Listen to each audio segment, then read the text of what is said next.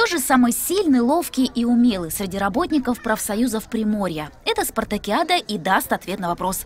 На городском стадионе Уссурийска представители нашего города, Находки, Владивостока, Михайловки и Покровки. Всего 10 команд от различных организаций и более 100 человек-участников. В первую очередь, и всегда это и было, когда еще профсоюз был и зарождался, скажем так, э, находилась э, та цель, чтобы действительно сплотить коллектив, э, быть вместе всегда в беде, в радости.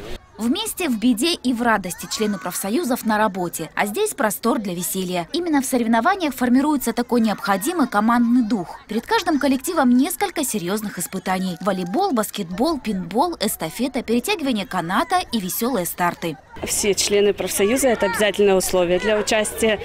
Как подбирали самых сильных, самых смелых, самых ловких и самых инициативных.